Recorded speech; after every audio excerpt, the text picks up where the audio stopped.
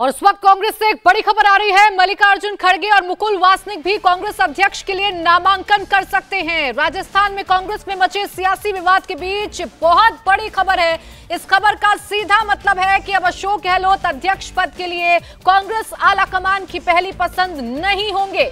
राजस्थान कांग्रेस के विवाद का इसे आप साइड इफ़ेक्ट कह सकते हैं। शशि थरूर के अलावा मल्लिकार्जुन खड़गे और मुकुल वासनिक भी अध्यक्ष की रेस में आ गए हैं। तो ये बड़ा फैसला लिया गया है। इससे पहले पहली पसंद अशोक गहलोत को ही माना गया था गांधी परिवार का। लेकिन जैसे ही सियासी घमासान राजस्थान में शुरू हुआ, आला कमान की नाराज़गी की खबरें सामने आई और अब जानकारी ये है कि मल्लिकार्जुन खड़गे और मुकुल वासनिक भी कांग्रेस अध्यक्ष की रेस में शामिल हो गए।